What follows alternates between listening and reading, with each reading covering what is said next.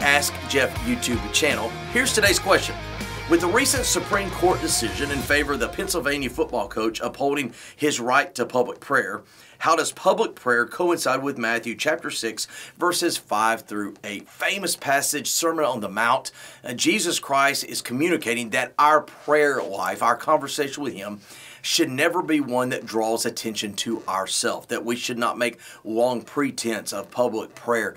And oftentimes we have prayer that is public. I was called upon on the National Day of Prayer to pray on behalf of our community within our community. There are times, even at football games, in days past and occasionally days present, I'm called to pray city council meetings, school, whatever it may be, there are times where we are asked to pray. Here's the thing those prayer opportunities should never be about ourselves, but they should be an opportunity to corporately pray and recognize the Lord at those times. Those are not violations of Matthew chapter 6.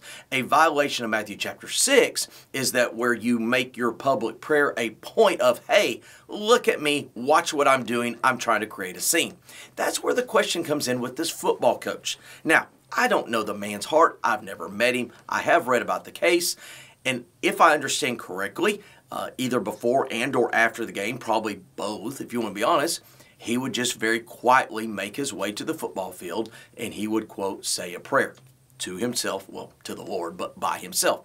This is not an unusual practice. I go to a lot of football games, high school and college, and oftentimes you'll see a respective position group or a group of, of young men make their way to the end zone or the midway point, 50 yard line, and they'll pray. In fact, um, I think every team my boys play for, there's a group of boys that do this at some point before and or after the game.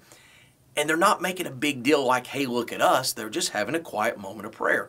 Now, if this coach were to go out on the field after the game and draw everybody's attention, grab a microphone, whatever, then I think we'd have the right to go to Matthew 6 and say, hey, coach, I, I think you see this wrongly or you're doing it wrongly. A simple, quiet, public prayer. So let's make it in our world. Uh, let's say that you're a school teacher and you decide that before the school day begins, you're going to kneel in your classroom and pray and somebody walks by and sees you, are you in violation of Matthew 6? Of course not.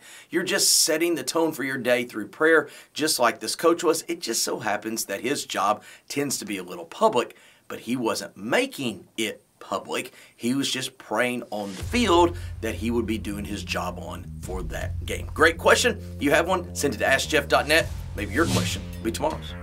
Thanks for being a part of today's daily question. Now, we answer a question each and every day. Please feel free to submit a new question at AskJeff.net. We may not have gotten to yours today, but we eventually will continue to be a part of this. Subscribe so you don't miss out on a question every day.